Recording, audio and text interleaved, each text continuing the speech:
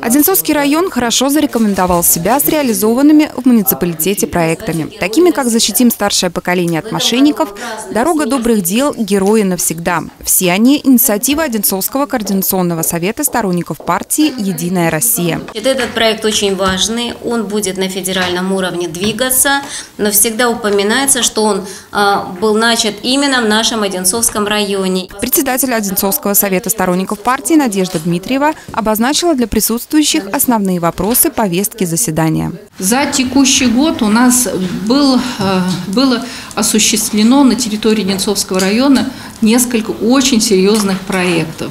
А, например, первый как бы пилотный на нашей территории, на территории Одинцовского района, это сторонники против мошенников. На сегодняшний момент мы хотели у вас поинтересоваться, что бы вы хотели увидеть в работе 2018 года. За круглым столом участники заседания обсудили взаимодействие сторонников партии с театральным центром «Жаворонки». Руководитель учреждения Ольга Кобецкая предложила обратить внимание на своих подопечных – актеров молодежного театра, которые всегда готовы выехать в поселение Одинцовского района со своими лучшими спектаклями. Такая достаточно мощная команда, причем все ребята единодушно, единогласно вступили в сторонники «Единой России», то есть они все как бы сами изъявили такую волю, потому что мы поддерживаем политику нашего президента полностью, да, безо всяких там.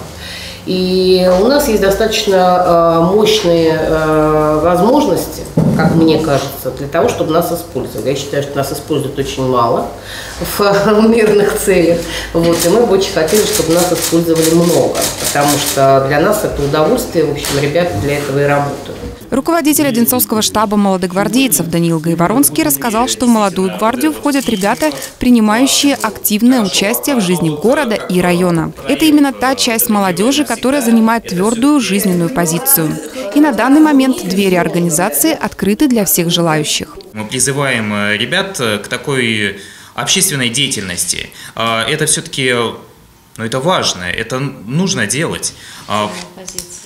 Конечно, да, должна быть э, такая гражданская позиция у каждого, э, начиная с молоду. Поэтому вот мы, начиная со школы, вот человек получает паспорт, э, значит, он уже является полноценным членом общества, и он уже должен отвечать за свою жизнь, ну и, в частности, помогать другим. В завершении заседания участники встречи обсудили планы работы сторонников партии «Единая Россия» на территории Одинцовского района в 2018 году. Мила Трасевич, Денис Харламов, телекомпания «Одинцова».